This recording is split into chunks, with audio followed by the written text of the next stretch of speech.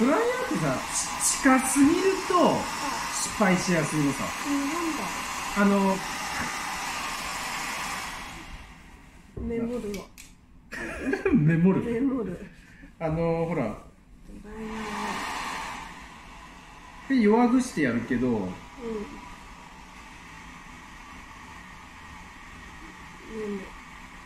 ドライヤー近すぎドライーヤはー近すぎ近は近すぎはダメ近すぎは近すぎると。近すぎるとさ、うあのこうまあ要するに変な型がつきやすいわけだ。こうほら見て。これ今しゃっこい数でやっちゃうけど、ん、こういうふうにこうバカって割れちゃうのさ。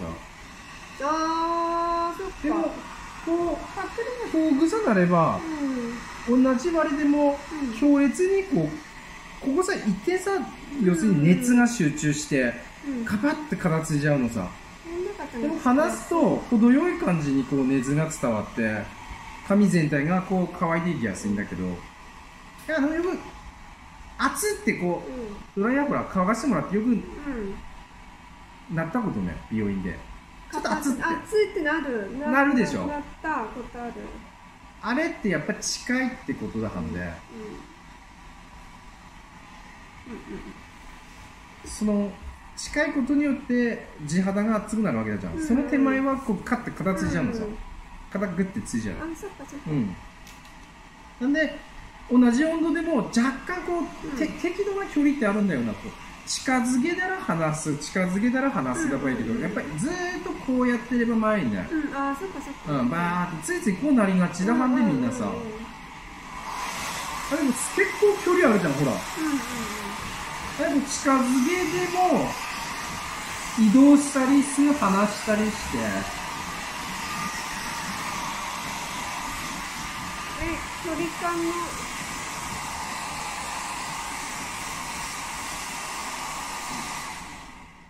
ああれ？結構ここはまあ30センチ近くあるよね。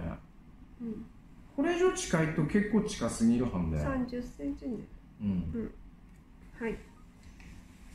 まあ、何センチってことではねえんだけどこううまくこ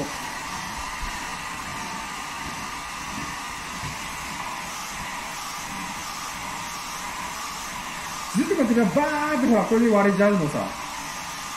ここさだけ当たってこうガーってなっちゃう